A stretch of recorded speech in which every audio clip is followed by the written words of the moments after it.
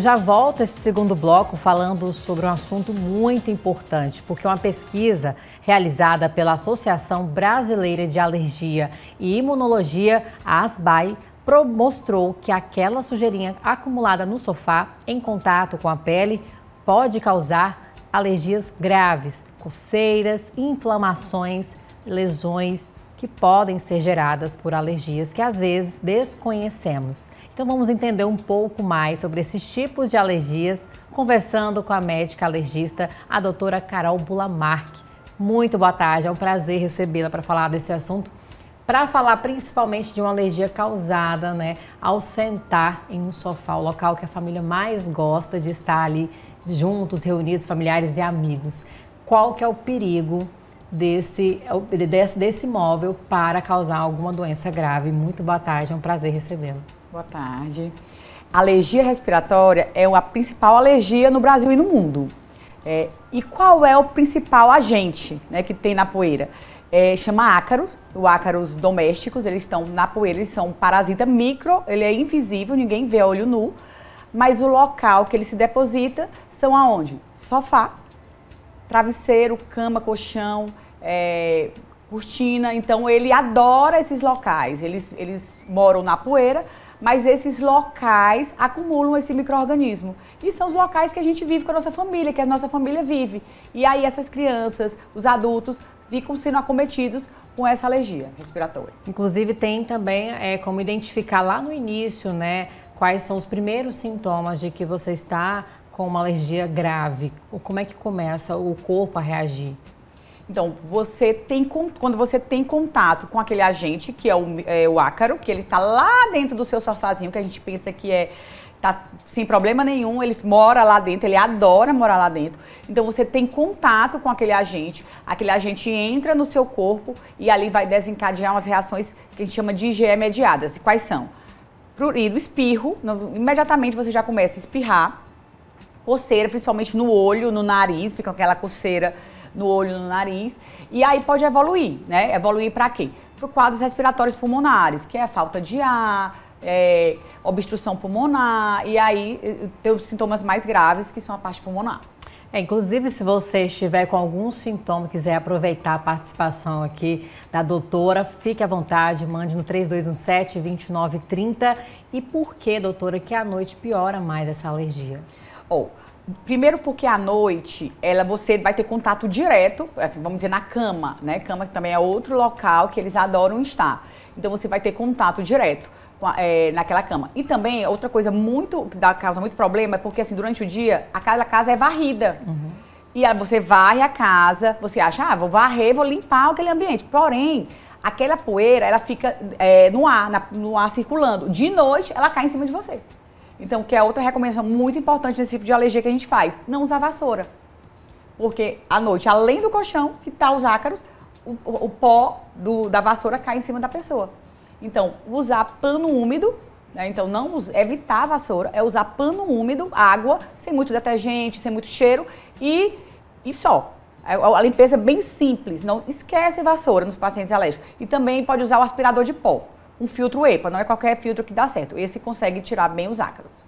O sintoma, o tratamento, na verdade, para uma alergia, é, qual que é o recomendado? Então, é, assim, a gente primeiro precisa fazer o confirmar o diagnóstico, né? Então a gente tem a suspeita clínica, assim, chega lá, doutora, eu entro num ambiente fechado, eu entro numa casa de praia que tem aquele ambiente mais fechado, eu entro num quarto de hotel, eu, eu chego em casa, aquele sofá sujo, eu fui fazer uma limpeza na casa, comecei a espirrar, ter coriza, sabe aquela, aquela aguinha, espirra, espirra, espirra, aquela coceira no nariz, é, o olho lacrimejando você tem sintomas. Ou então estou tendo quadros pulmonares, estou tendo, doutora, estou tendo asma, estou tendo crise de falta de ar. Então, gerou, gerou a suspeita. A gente, no consultório, a gente vai fazer testes alérgicos. Né? É, eu gosto muito dos testes alérgicos no sangue. Tem os pick test também, que a gente vai colocando na pele a, a, e no, no, sangue, né? Então, você faz, você define se é alérgico ou não.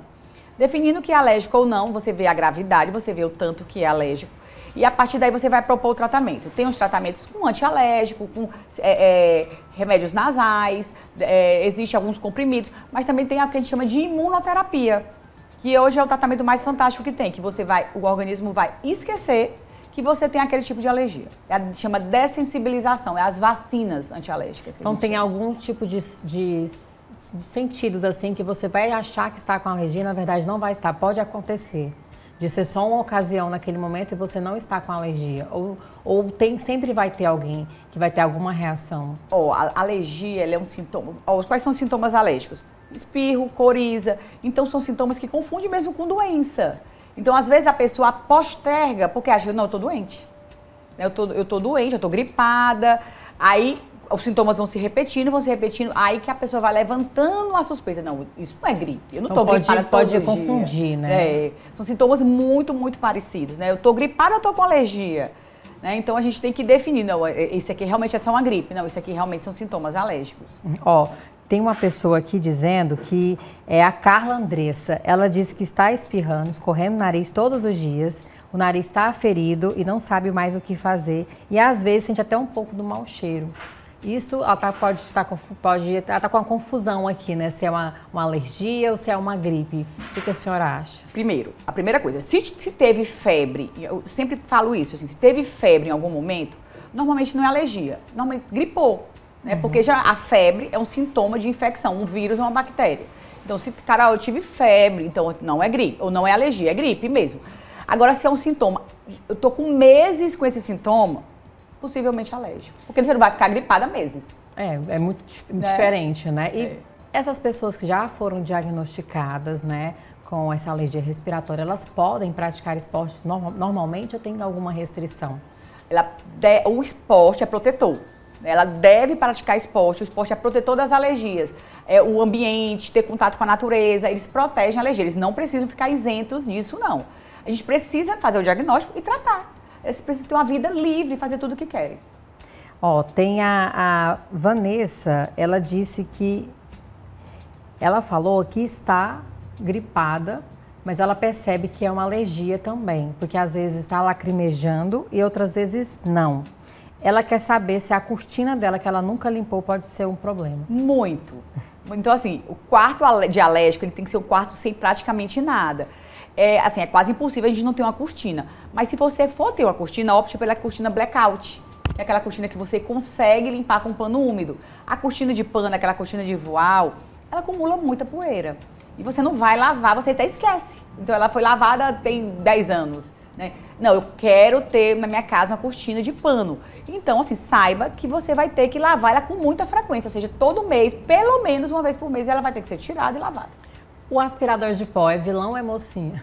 Depende do filtro.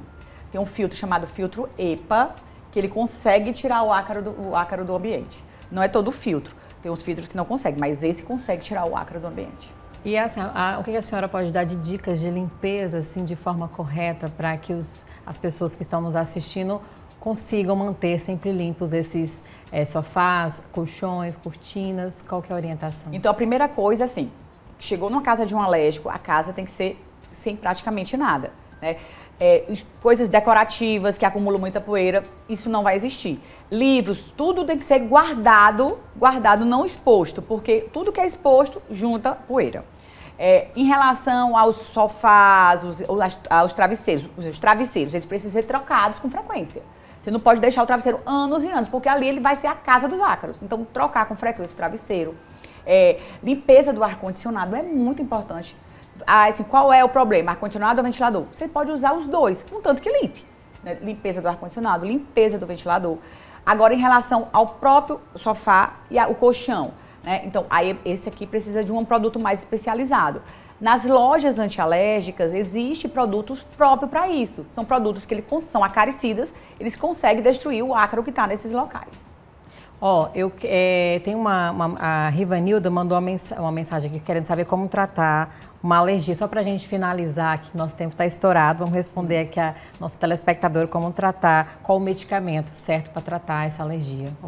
Então, a primeira coisa, tratamento que a gente chama de paliativo. Eu estou com sintoma de, de, rinite, de neorrinite, eu preciso usar um antialérgico, é um antihistamínico, ele vai combater aqueles sintomas, aqueles sintomas, né? Então vai combater o espirro, vai combater a secreção nasal.